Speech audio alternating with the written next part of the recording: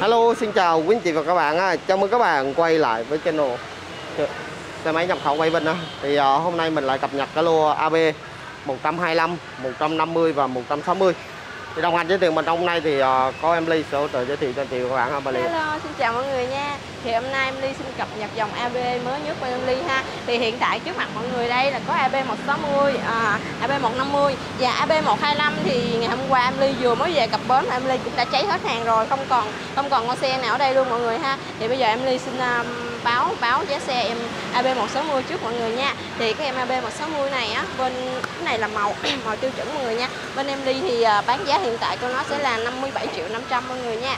À, và giá này em đi đã bao gồm thuế VAT ha em đi hỗ trợ bán góp cho mình nha à, dòng xe này thì mọi người muốn trả góp mọi người chỉ cần trả trước cho em ly là tầm à, à 8 triệu đổ lên là được ha 7 8 triệu đổ lên là em đi hỗ trợ cho mình lấy xe ra nha à, rồi à, kế bên mọi người đây là cái em AB 150 mọi người nha à, đây à, MAB 150 thì bên em ly bán giá hiện tại sẽ là 58 triệu mọi người nha. 58 triệu này thì em ly đã bao gồm thuế VAT hết cho mình rồi ha. Và màu này thì em AB 150 thì bên ly hiện tại có hai màu nha. À, màu xanh và màu đỏ.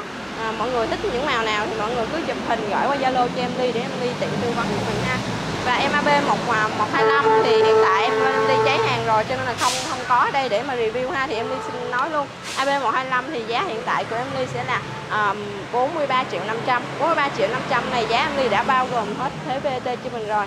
Và AB 125 mọi người chỉ cần trả trước cho em ly là từ 1 cho đến 2 triệu ha. Em ly hỗ trợ cho mình lấy xe ra. Và AB 150 này thì mọi người chỉ cần trả trước cho em ly là tầm 7 triệu đổ lên là được nha. Rồi, rồi. ok.